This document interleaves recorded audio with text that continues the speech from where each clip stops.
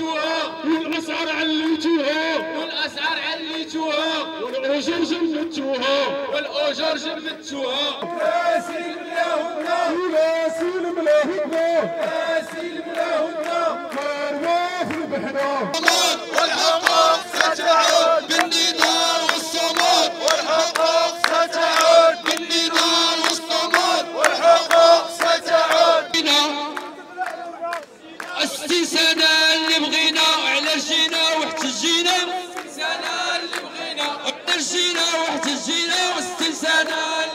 رغم رغم كل المحاولات كل قرار كل معركة كونفدرالية هناك أيادي وهناك أطراف وهناك جهات تحاول المس بالقرار الكونفدرالي قرار الاحتجاج.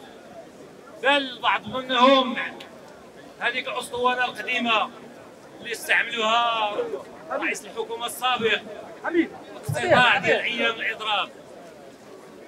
بالأمس بعض المسؤولين غنقطعوا لكم غدا يقطعوا كاع المغاربه كلهم يعانون قطعوا نهار قطعوا شهر لكن لا بد من المساهمه في تغيير الاوضاع البعض منهم قال لهم لا ما تحسبوش كل شيء مضرب راه كاين اللي بايت البارح بالليل لأنه وليله القدر حسبوه راه بات سميتو راه ما استطاعش يجي إحنا لا ندخل في هذا البوليميك ديال الأرقام. قرار هو قرار نضالي اتخذته الكونفدراليه الديمقراطية للشغل جوابا اولا على المعاناة ليس فقط الطبقه العاملة ولا الوظيفة ولا الاخوان الله يبني بالشارع تدخل نقبة نقبة السيدتي ما يدخلها من ولا هو جواب هو جواب على الوضع الاجتماعي متأزم. وماشي وليد اليوم ولن نقبل دائما من الحكوميين صناع القرار في كل أزمة نسمعوا خطاب الإكراهات السوق الدولية لا الحرب الأوكرانية أو لغات التبريرات. لا هناك سياسة لا اجتماعية تتخذ من طرف الحكومات.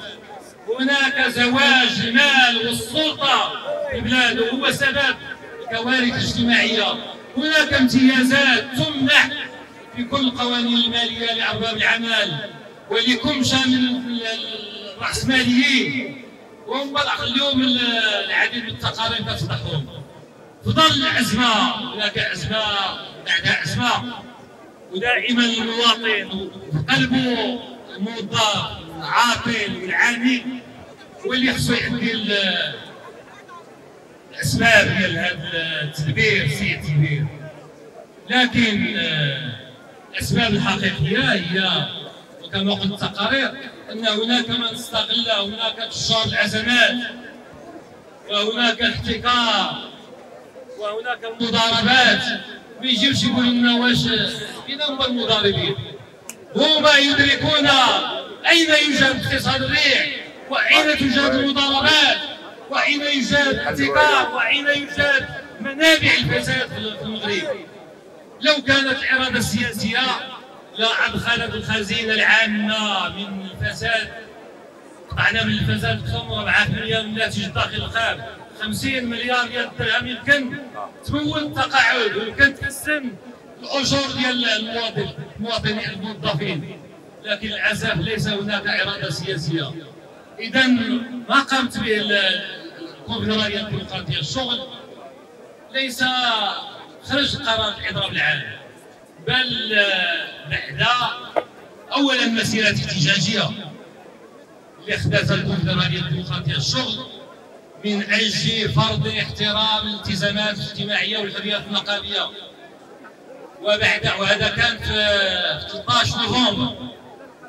واعتقدنا عند الحكومة ستاخذ بعين الاعتبار التزاماتها وستتضمنها في القانون المالي لكن للأسف القانون المالي لهذه السنة استمر في نفس المنحى في تقديم الهدايا والامتيازات لأرباب العمل وللمحتكرين ولم يقدم أي شيء للطبقة العاملة.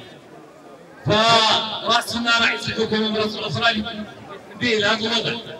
وأمام عدم التجاوب اضطرينا نأخذ مسيرات إقليمية احتجاجية. اللي صدرت صدر هذا الحق ديال الاحتجاج ديال التعبير ديال واحد دستوري ديال الحق كوني واستمرت الكونفدراليه الديمقراطيه الشغل دائما في التحضير لحركات احتجاجية من أجل فرض المطالب وفرض الحكومة الاحترام الالتزامات ماذا تضمن الاتفاق؟ وهنا كنطلب من من الصحافه والموظفين والمواطنين يطلعوا على علاش وقعات الكونفدرالية وقعت على اتفاق 30 ابريل وكان منصوص فيه زيادة عامة في الأجور ومراجعة الضريبه الاشطر ديال الضريبه على الدخل من أجل العدالة الجبائية. وأيضا خلق أو درجة جديدة لكل الموظفين في جميع القطاعات وأيضا حل النزاعات الاجتماعية. اليوم العديد من النزاعات الاجتماعية مئات ديال العاملات والعمال المشردون بدون أجر يتم تسريحهم من طرف ارباب العمل ومنصوص على أيضا داعمه اتفاق الميثاق الحوار الاجتماعي ديال المؤسسة. ليس فقط الحوار هو نجلسوا في شهر ابريل ونتلاقاو في شهر سبتمبر الحوار هو هو التجاوب السريع مع المطالب ديال المواطنين. هو احترام الالتزامات ديال الاتفاقات والتعاقدات الاجتماعية. هذا هو الحوار الاجتماعي. لن نقبل ولن نسمح في أي نقطة تركنا عليها وقت عليها الكونفدرالية الديمقراطية الشغل لن نقبل بأي تراجع يمس مثل التقاعد. عكس ما ادعت وزيرة المالية ليس هناك حلول. سهلة هناك حلول بطبيعة الحال. لو أن الدولة انطلاقا من الشعار ديال الدولة الاجتماعيه الدولة الاجتماعيه هي التعليم هي الصحه الخدمات العموميه يوظفوا الجيش ديال المعطلين اللي هما اليوم متواجدين في الشوارع. يقدموهم باش يكون المداخل ديال الصندوق المغربي للتقاعد وارباب العمل أيضا يصرحوا بالعمال لأن هناك جرائم ترتكب من طرف ارباب العمل بعدم التصريح لعمال الصندوق الوطني يصرحوا جميع العمال. ذات الصناديق ستعرف توازنها وعلى الدولة أيضا أن تخصص من ميزانيتها العامة جزء من تمويل الصناديق. ولا يمكن التقاعد أن يؤدي ثمنه الموظف والعجين بالرفع من السن والرفع من زيادة في المساهمات وتقليص المعاد اذا هذا من المواقف الواضحه ديال الكونفدراليه الديمقراطية الشرق بالنسبة ديال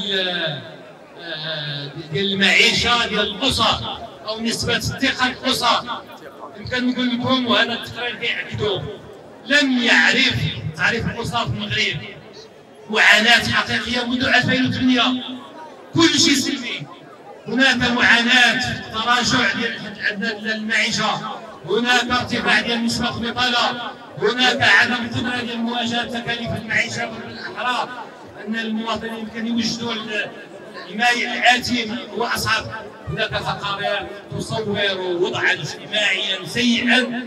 ما يمكنش نتصداو حتى السنة المقبلة. لا بد من الحكومة أن تحمل مسؤوليتها. وإذا لم تتحمل مسؤوليتها فالكونفدرالية الديمقراطية الشغل ستواصل معاركها النضاليه في كل الوجهات مناسبة أيضا لنلوها بكل الجهات التي دعمت وساندت قرار الاضراب العام. أما الآخرون فهم مسؤولون على مواقفهم وقراراتهم. الكونفدراليه ستتوجه يوم الخميس إلى الحوار الاجتماعي إذا كان هناك ما يفرض احترام الالتزامات والتجاوب مع المطالب ديال المواطنين ديال الطبقة العاملة حيكون الحوار مستمر. إذا لم يكن هذه الأزمة الاجتماعية ستنتقل إلى أزمة الحوار الاجتماعي.